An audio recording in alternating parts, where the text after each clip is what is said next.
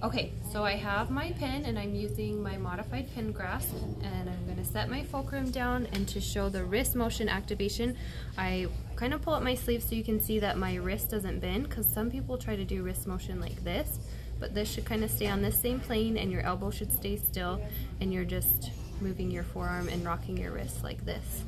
And then with digital, motion activation, it's when you're using your fingers to make that movement with your pen instead of your wrist.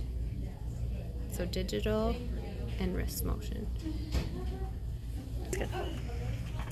Okay, so we're going to review the handle roll. So again, with a modified pen grasp, I'm going to set my fulcrum down and you should be able to watch this part of the pen and you can see how when I move my thumb and my forefinger, rolling them down there, that's what moves the instrument.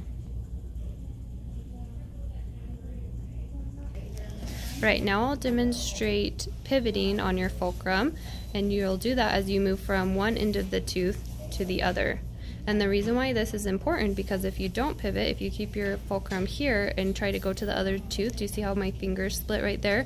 That you lose a lot of stability and strength with your instrument when you do that. So you need to start right there and you'll pivot your instrument to keep your fingers, sorry, pivot your fulcrum to keep your fingers together.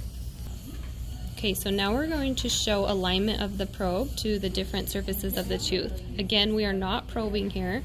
So we'll start right here with the probe aligned right here to the tooth. And I'm going to pivot to align it right here at the middle and then pivot again some more to show the alignment right here at the mesial. So that's what that should look like. Okay, we're going to show alignment on a second premolar. So again, I'm going to start on the mesial right here, pivot up a little bit to show on the straight, and then pivot even more to show on the distal, that alignment there. All right, and we're going to show alignment now on a molar. So I'm going to start right here on the distal, pivot a little bit to show the straight, and then pivot even more to show alignment for the mesial. And then a little bit quicker, that's what that would look like.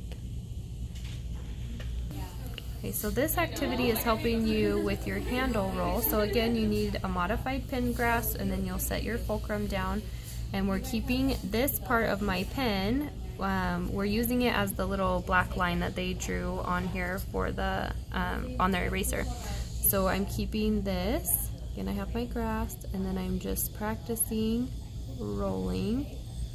So we're keeping this part oriented to the tooth and to the dots. And then now as I go to this one, that dot, it would go like this. Okay, perfect. Go ahead. Is that good?